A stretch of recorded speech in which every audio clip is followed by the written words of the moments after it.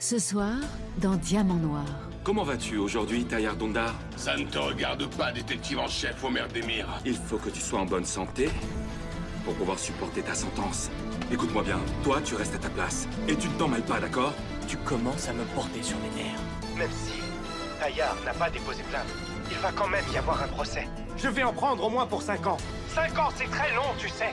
Vous voulez changer les résultats des tests ADN Elif aime beaucoup Homer.